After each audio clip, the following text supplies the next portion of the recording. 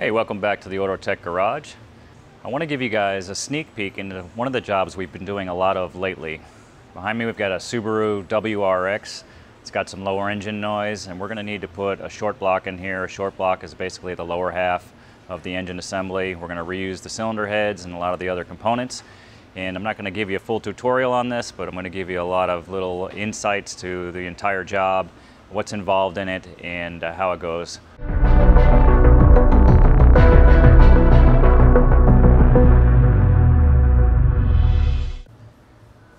We are in the garage today. We've got this Subaru 2.0 liter turbocharged, intercooled with some engine noise, and I want to let you guys take a listen to this.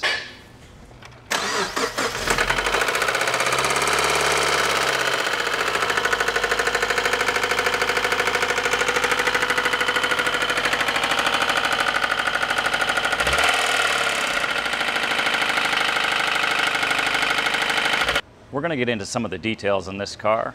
Going to involve disconnecting the battery, draining all the fluids out of it.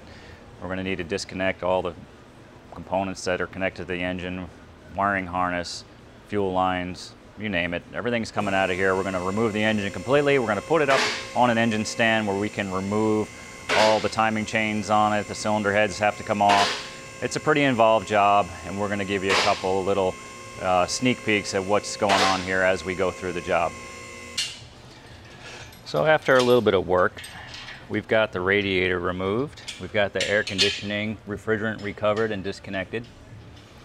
We've got the fuel hoses disconnected, fuel lines disconnected, uh, electrical harness has been disconnected, starter disconnected, bell housing bolts all out, torque converter bolts out, they go in this hole, by the way, torque converter bolts.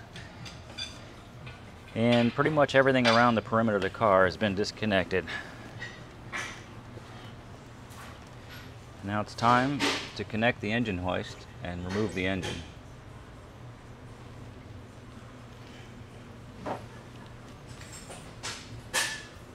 Be sure you've got clearance on the hood.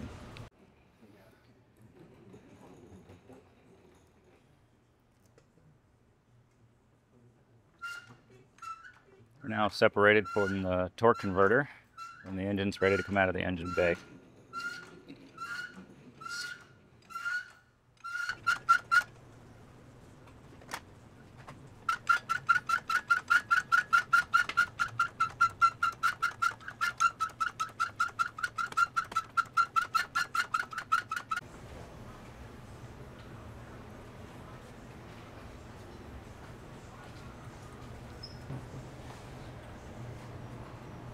Here's a peek at the engine bay with the engine removed.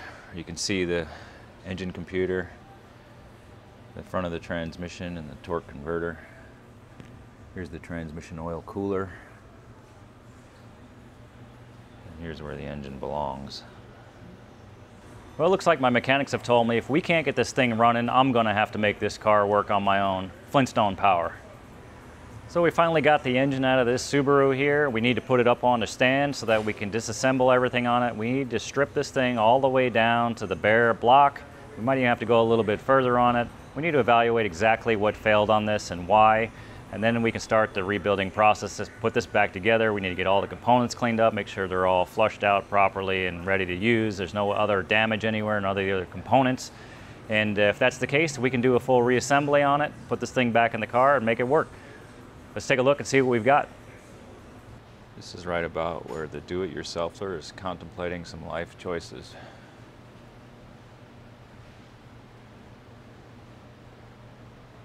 So here we are. We had a little bit of work to do to get this engine all the way stripped down to the engine block so that we could take a look at the connecting rods and things to see what exactly failed on it. Oh yeah, and that noise we heard, I think we found it.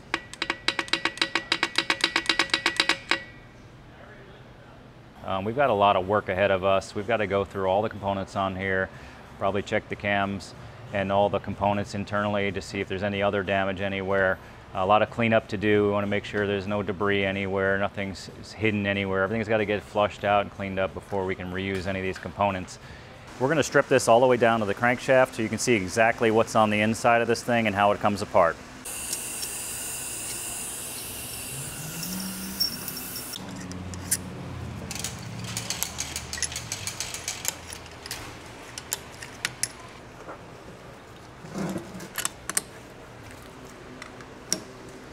Ready?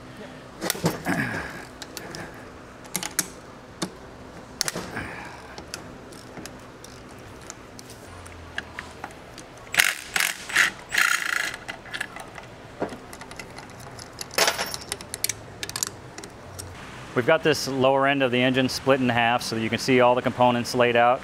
I've got in front of me the crankshaft.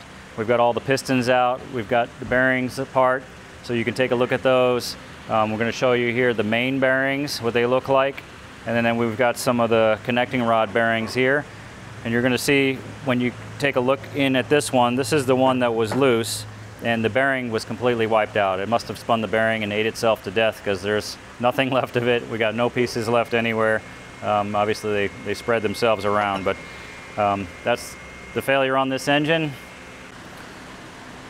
These here are the main bearings. They hold the crankshaft in place.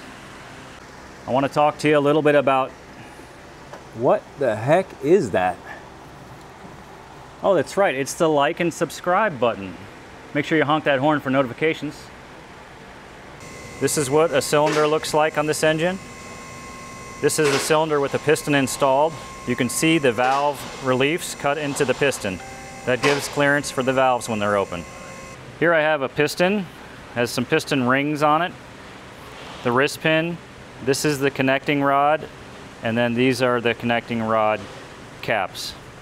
The bearings go inside of here, and they connect uh, here on the crankshaft. Here we are. We've got our new engine from Subaru. This is what they call a short block. A short block is essentially the lower half of the engine, or in this particular vehicle, because it's a horizontally opposed four-cylinder, it's not really the lower half, kind of the middle half. We've got cylinder heads on both sides, and we've got the engine block in the middle.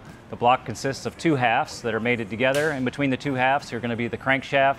It's got four pistons in it, connecting rods, bearings, everything we need in the bottom end of the engine to get this reassembled. All brand new from Subaru. We just need to swap over all the parts that we've removed from the old vehicle after they've been cleaned up, of course, and gone through and put this back together and we should be able to make it run.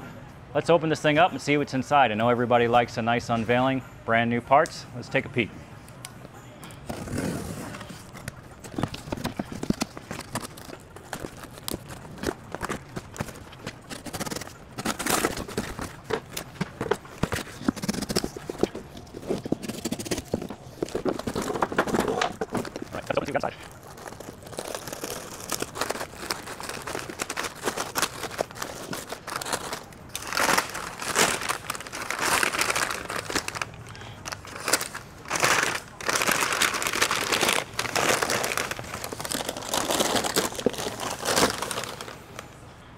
There it is, a nice shiny new short block. Let's get a look at it.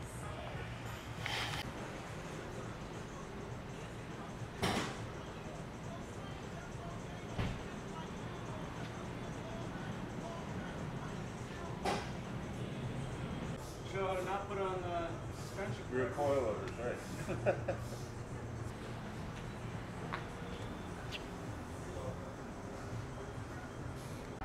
We're getting ready to assemble the engine on this Subaru and I wanted to give you a sneak peek here at what the engine gasket set looks like from Subaru. In here we've got the cylinder head gaskets. These are multi-layer steel gasket. They require a very special torquing process. It's, um, it's pretty important to get that process correct when putting these cylinder heads back on. And then we've got some other gaskets here as well. Exhaust gaskets, valve cover gaskets, all kinds of O-rings and seals, intake manifold gaskets, rear main seal. Luckily our engine short block has already come with a rear main oil seal. We can save that for another day. Some spark plug tube seals. We've got this engine almost assembled. We've got a few pieces left we've got to put on it and then we're going to get ready to put this back inside the car. Going to lower this engine back into the engine bay. We've got a lot of work to do here. We have to reconnect everything we've disconnected. Of course, all the torque converter bolts go back in, bell housing bolts, starter, motor, all the hoses and belts before we can fire it up. Now we've got it running.